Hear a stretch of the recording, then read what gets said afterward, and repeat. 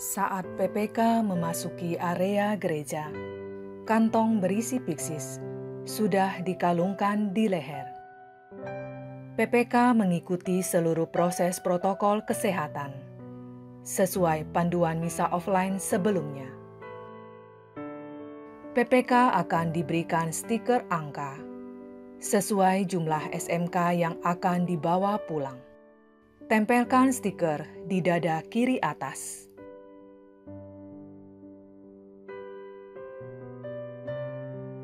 PPK bersama umat lainnya memasuki gereja, mengikuti arahan tim Ramatama dalam, dan menempati bangku sesuai urutan kedatangan.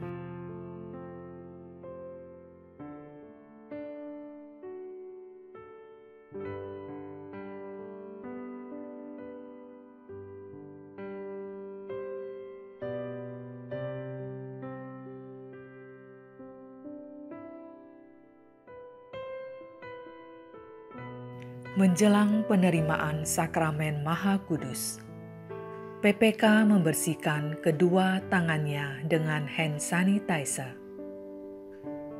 Kemudian, piksis dikeluarkan dan dibersihkan dengan hand sanitizer pula.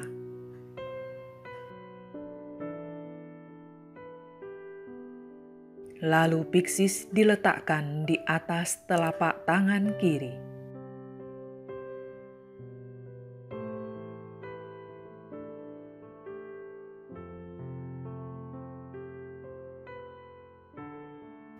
Pada saat penerimaan SMK.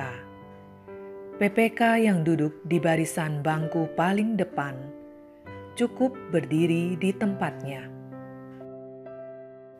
Ketika sampai gilirannya, PPK membuka tutup piksis untuk diisi SMK sesuai dengan jumlah yang tertera pada stiker.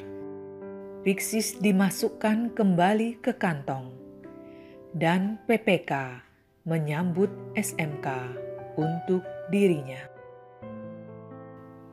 Sedangkan bagi PPK yang duduk di barisan berikutnya, tetap maju mengantri seperti biasa.